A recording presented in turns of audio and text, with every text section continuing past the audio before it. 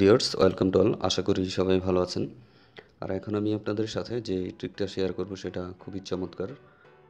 তো আগে আমি দেখিয়ে দিই যে আসলে আমি কি দেখাতে চাচ্ছি আপনাদের। ভিউয়ার্স দেখুন, আমাদের মোবাইলগুলোতে সাধারণত লক স্ক্রিনটা স্ট্যাটাস বারটা এইরকম। কিন্তু এখন আমি আপনাদের সাথে যেটা দেখাতে যাচ্ছি যে কীভাবে আপনি আপনার লক স্ক্রিনটাকে এরকম করে নেবেন।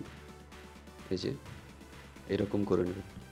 কিন্তু যাদের মোবাইলে লক স্ট্যাটাস বার বা নোটিফিকেশন বার এরকম, শুধু তারাই পরবর্তী অংশটুকু দেখতে পারেন। এটা মূলত মার্শমেলোর পর থেকে নুগাট ললিপপ সরি নুগাট যে তারপরে ওরিও সেই ভার্সনগুলোতে এটা আছে।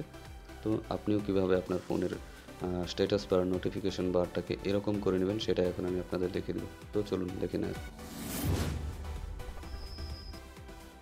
এই জন্য প্লে স্টোরে গিয়ে ম্যাটেরিয়াল নোটিফিকেশন শেড এটা লিখলেই হবে। ম্যাটেরিয়াল লিখলেই এটা চলে আসে। এই অ্যাপটি আপনাকে ইনস্টল করে নিতে হবে। যে দেখুন, এই অ্যাপটি। দেন এটা ওপেন করে নিন। তারপর আপনাকে যেটা করতে হবে, এই যে এটা অফ আছে অন করে দেবেন। আর এটা যে এখানে এই পারমিশনটা দিয়ে দেবেন এখানে। ব্যাক করে ডান করে দিন। আর দেখুন এখানে ব্যাকগ্রাউন্ড কালারগুলো আপনি চাইলে চেঞ্জ করতে পারবেন।